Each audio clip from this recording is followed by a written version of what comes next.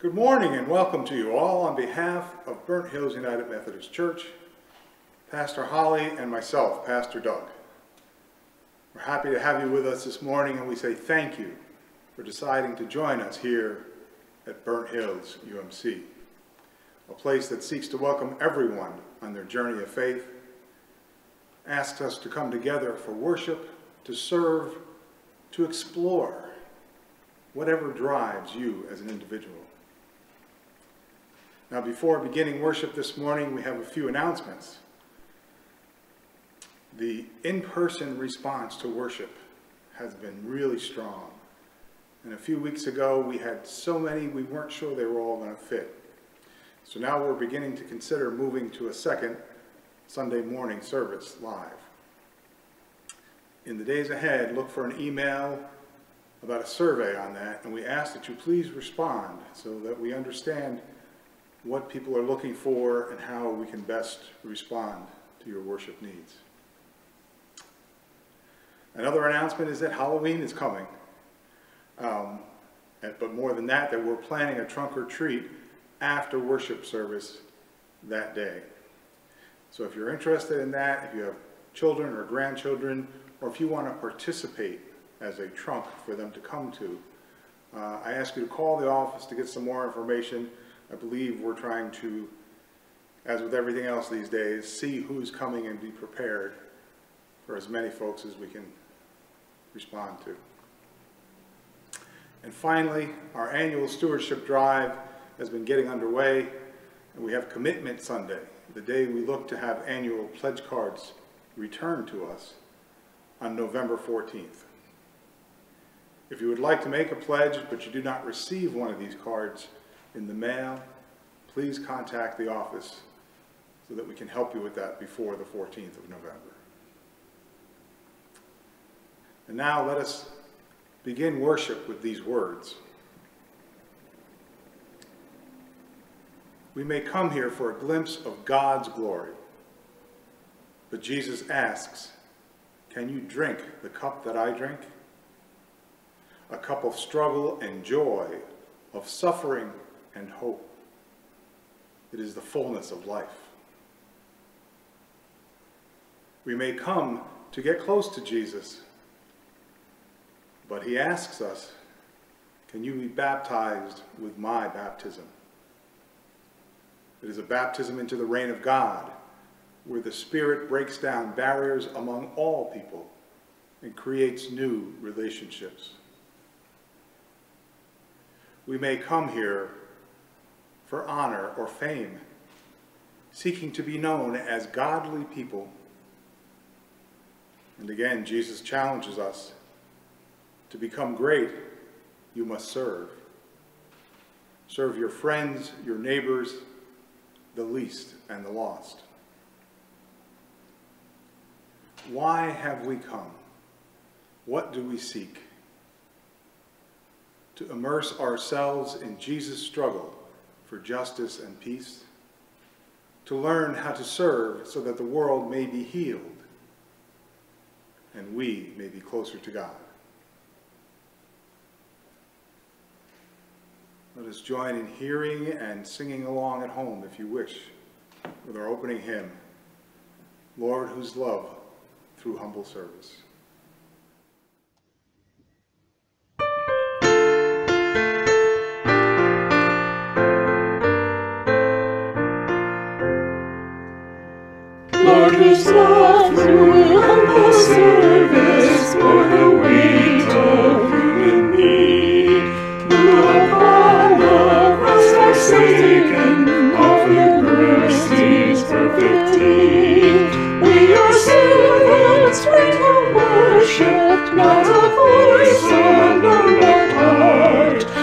Consecrating to your purpose every gift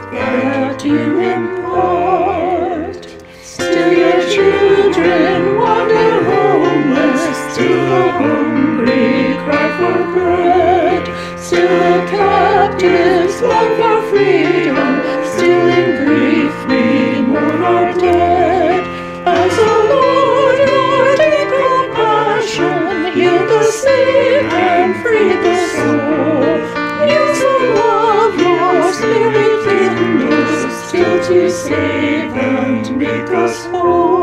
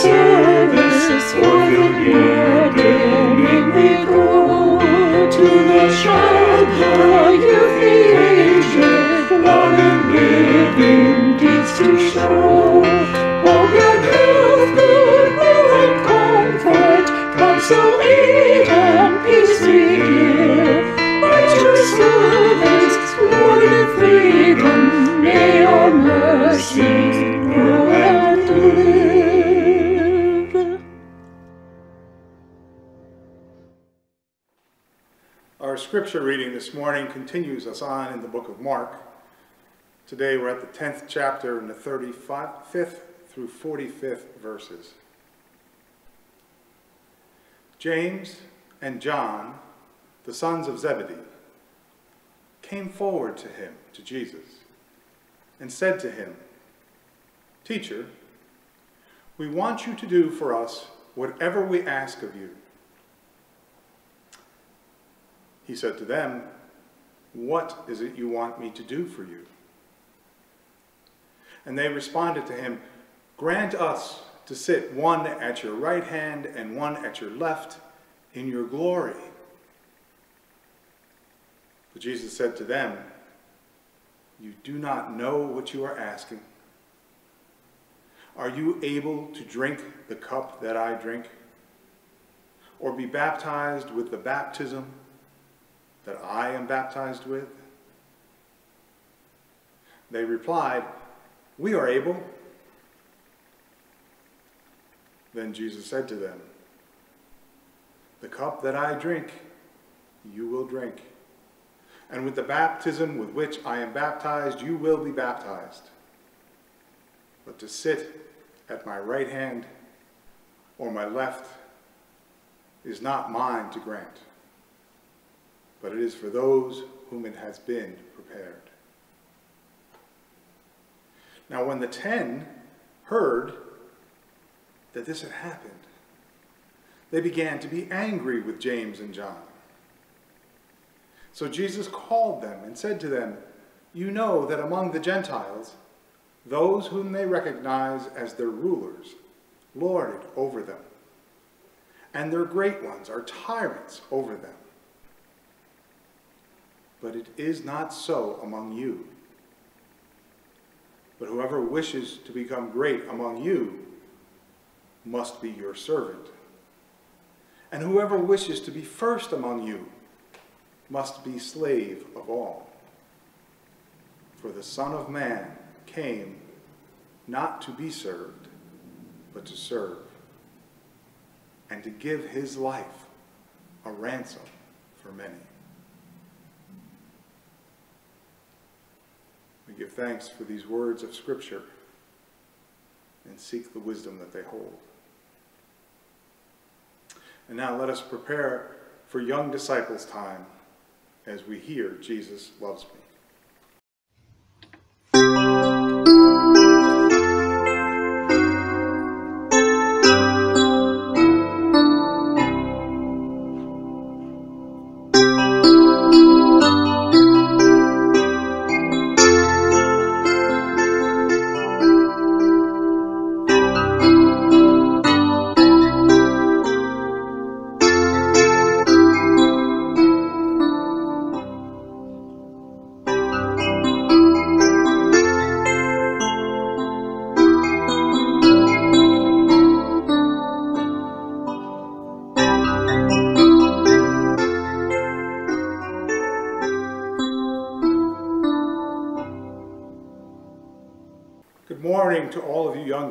Who might be out there.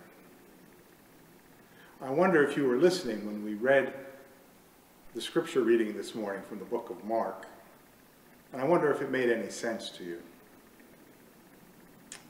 Just to kind of recap it, at the beginning, the two brothers say they want to be recognized. They want to share in Jesus' glory and be put at his right hand and his left. Those are positions that say you're important. So they want to be important. They want to be seen as important. But Jesus says to them something. There's all that stuff about can you drink the cup I drink and be baptized like I am baptized? And what Jesus is trying to tell them is it's not as easy as you think it's going to be. Because he knows what's coming for him and that it's going to be difficult. But then he also tells them something really important that I want you to understand from today. Jesus tells them that in order to be important, you have to work at it. You have to serve other people. That in doing something for other people, that's where you become important in God's eyes.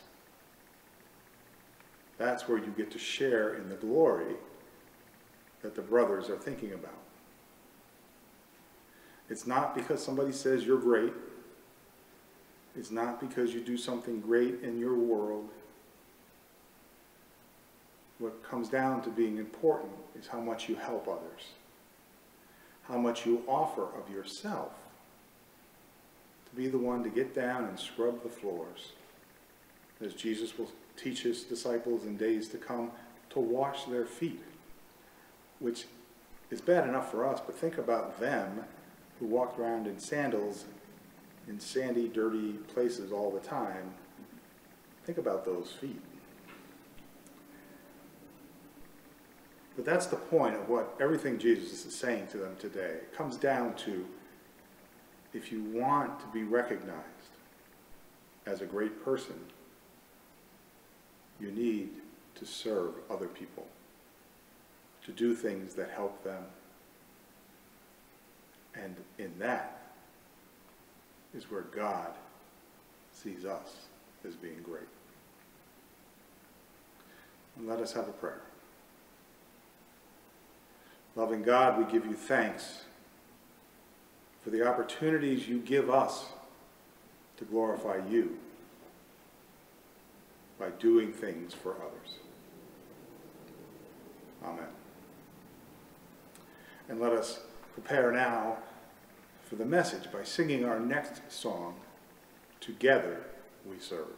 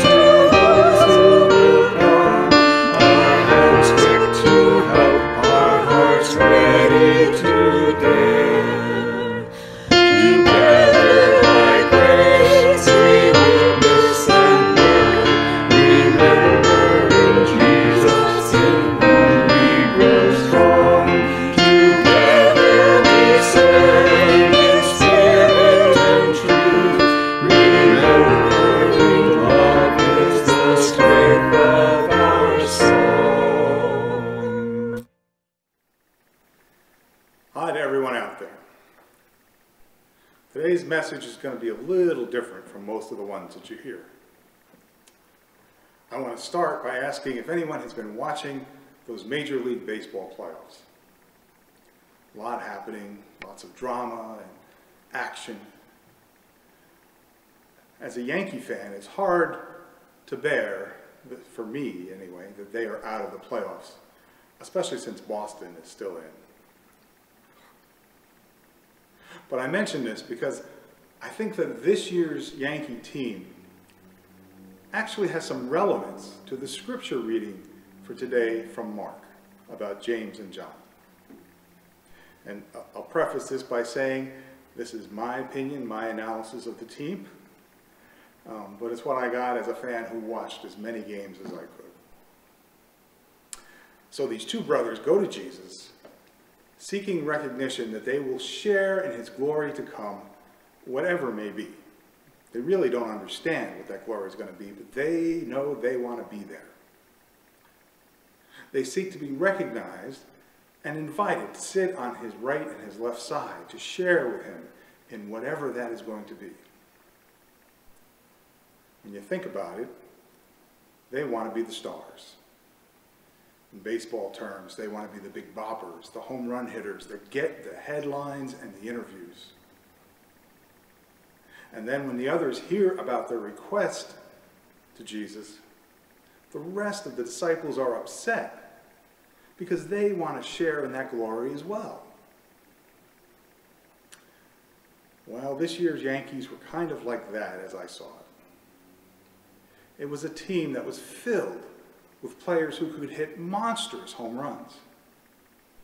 Players that often get the spotlight and in any game, it would not be surprising to see multiple long shots, ones that are in the 4 to 450 foot range or more.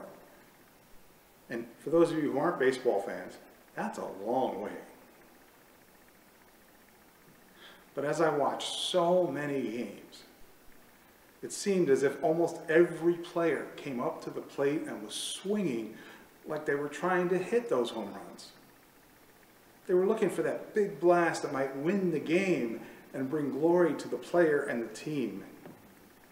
So many times it was so frustrating to see them with those big swings. Now, I'll admit, it's exciting whenever one of them would actually connect, and there would be some amazing successes at that throughout the year. But not enough to allow them to still be playing here in October. I know this is how the team was built. It's what the management and the ownership expected of them. But they also seem to be missing something. So let's listen again to what Jesus tells his disciples in this reading. Whoever wishes to be great among you must be your servant. And whoever wishes to be first among you must be slave of all. So, what is he talking about? And how does that apply to baseball? Well, what he's saying is that if they, the disciples, want to be considered great and share in his glory, to metaphorically win the game and keep on playing into the playoffs and make it to the World Series, they need to do the little things the humbling things that serve the whole team rather than looking for those big look at me moments when the ball might go so far out of the stadium. They need to care for others, to fill the needs that often go overlooked, to be supportive and to prepare the way for something bigger than themselves, for the next thing to come the next batter. Be humble. Serve others. Meet the day to day needs of those who are truly suffering. Because that's what brings hope and joy to them. Now, I hear J Jesus saying that big gestures and home runs are great when they happen. But without the everyday needs being met, those big things are no more than a bunch of hot air, a flash in the pan, and they're meaningless in the long run. For all the great home runs the Yankees hit coming down the stretch this year, what they needed most but did not get enough of was the little things. Singles, moving runners from one base to the next with a well-timed sacrifice of oneself. Things that worked for the good of the whole team, even if they didn't bring great accolades at the time. These are the things that may not get a player the headline or a highlight video on ESPN. There's no moment of glory. But they are the things that build up the whole body in the long run. For the betterment of the team, the fans, and the community that follows as a whole, it's the little things that need to be done. And in fact, it was that kind of play that idea of serving others rather than swinging for the fences all the time, that really was present at times this season and that allowed the team to even get to the playoffs at all. And again, now, for anyone that's not a fan, I'll give you a bit of background. The team had a really tough season with many injuries, more than most teams suffer in any year. And that greatly impacted the makeup of who was supposed to be playing. In fact, of the folks that opened the season on opening day, maybe half of them ended up on the injured list for the whole year and were not there to play. At one point, they even had six starters out for an extended period as they were in COVID quarantine or actually sick with COVID. But when all those players went down, when they weren't able to play, an amazing group of replacement players stepped up and filled in the holes. This group of new players were actually misfits, minor league players, second string players, folks that nobody expected to do much, but they came in with that attitude of they're going to do the job, or next man up, as some would say to fill in the holes that the team faced. And knowing that they were not likely to hit the long home runs, they played the game differently, doing those little things that the regulars seemed to be incapable of. They hit timely singles. They stole bases. They sacrificed themselves to move somebody ahead and allow the team to score. They did whatever it took to serve the whole body. And the team got the glory and the wins. At one point, when all this was happening, they got 13 wins in a row. That's not easy to do in Major League Baseball. It was an amazing run when you could watch this lineup that often had fans saying, well, who is that guy and where did he come from? but they served each other. And they won a lot of games when nobody really thought that they would do much more than maybe keep things steady at 500. But they won so much that they passed three or four other teams ahead of them during this period. Now, eventually, the big name players got healthy and they came back. And as great as each one of them is individually, and what they can do in their spot, as a team, they seem to lose that focus again on doing the little things. They seem to shift away from that mindset of being humble and seeking to do the small things to support the larger whole, of serving instead of looking for the big hit. And I started to see those big swings come back again, swings that either missed altogether or were off just a little bit, but would lead to an easy out. Ultimately, they found themselves out of the playoffs again. Not because the individual players were not good and worthy of some individual glory, but because they just seemed to lose that concept that to be great, you must be a servant, and to be first, you must be slave to all. What it translated into baseball, you gotta do the little things. May Jesus' teaching on being humble and focusing on service rather than on seeking glory touch our hearts and guide our actions in life. May it be that way for each of you, as I hope it is for me. Amen. And let us prepare for a time of prayer now as we listen to our prayer song. My song is Love Unknown.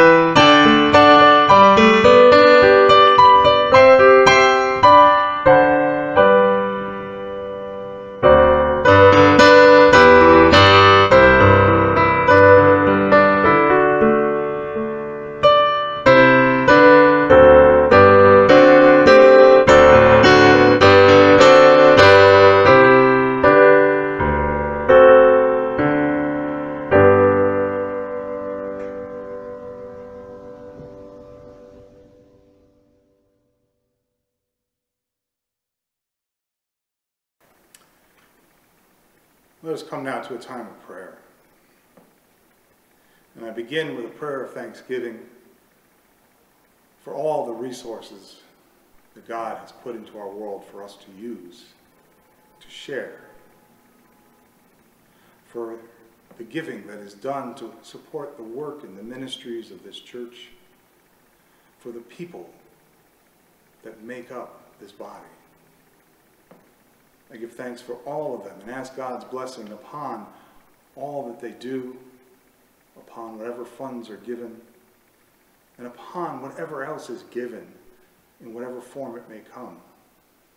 The things we do with our hands and our voices, the things we do by sharing our presence to help others. Amen.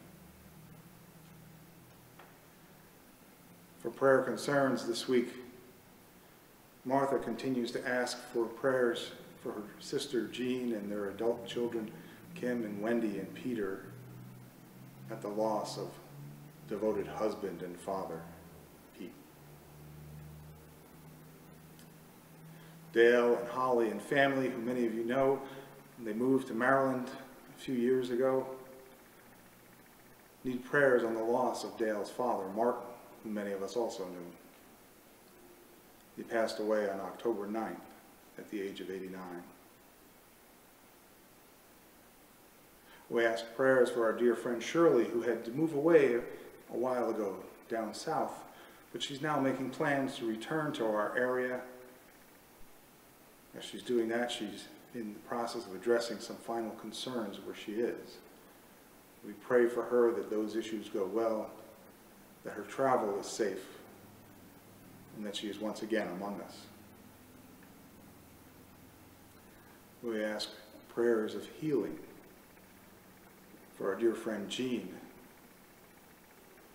who has been moved to Elizabeth Church United Methodist Home in Binghamton after a recent fall. If you would like her new address, you can call the office. And we want to keep in our prayers the three parishes in our community that were served by Father Jerry, as we all mourn his recent passing, especially those at Our Lady of Grace, Immaculate Conception, and St. Joseph's. Pete asks for prayers for his son Luke's father-in-law, Steve, and for Steve's wife, Cindy, as Steve deals with having some serious health challenges. And we want to continue in our prayers for Dottie and for Eric and for Sandy as their health challenges and their life situations continue. Prayers are also appreciated for Kathy and her family as her mom faces serious health issues. And finally, Libby and Tom thank us for all the prayers that were given as they grieve the loss of Tom's mom. We want to continue to pray for them and that they find healing and strength in this difficult time. Now let us take a moment of silence as each of us lifts up those prayers that we hold in our hearts.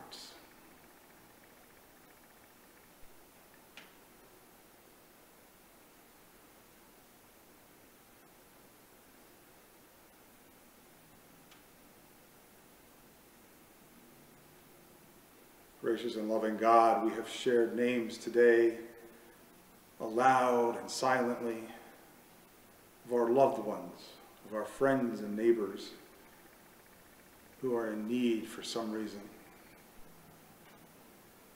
We ask that your healing touch surround them, that they know the peace of your presence in their lives, that those who are caring for them have the wisdom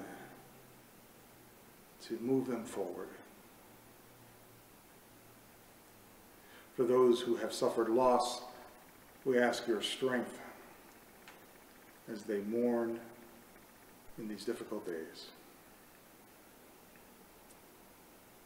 We know that you are fully aware of each of these requests before we even say them aloud.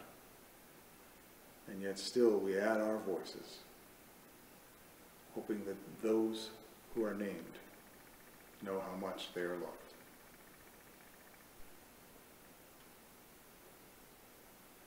Almighty God, we ask these things in a world that is filled with turmoil.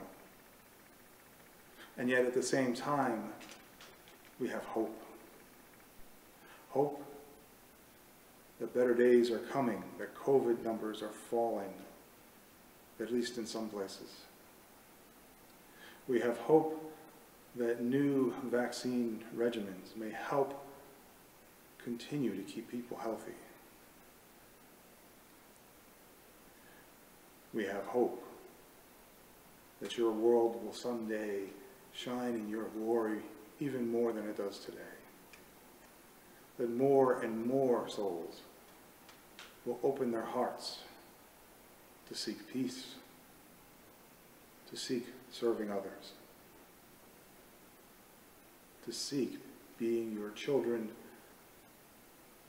than they do seek glory for themselves.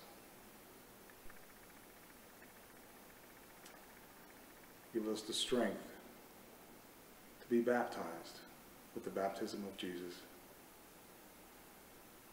to share in the cup that he shared,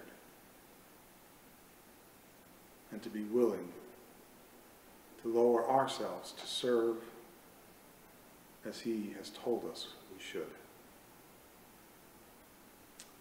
And let us join now in those words that have come down from him for us to share each day. Our Father, who art in heaven, hallowed be thy name. Thy kingdom come, thy will be done, on earth as it is in heaven. Give us this day our daily bread, and forgive us our trespasses, as we forgive those who trespass against us. And lead us not into temptation, but deliver us from evil. For thine is the kingdom, and the power, and the glory, forever. Amen. Let us join now in our closing hymn this morning. We are the church.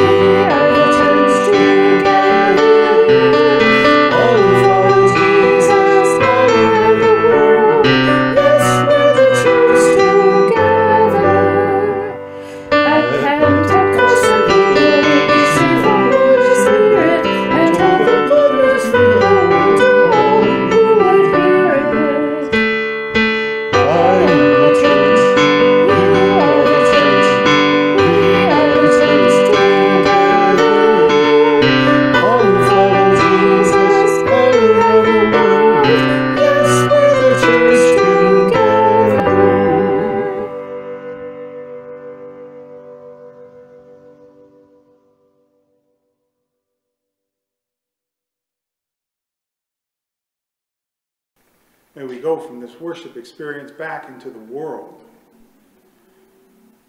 Sadly, a world where the Yankees are out of the playoffs, but a world where God's presence is always there.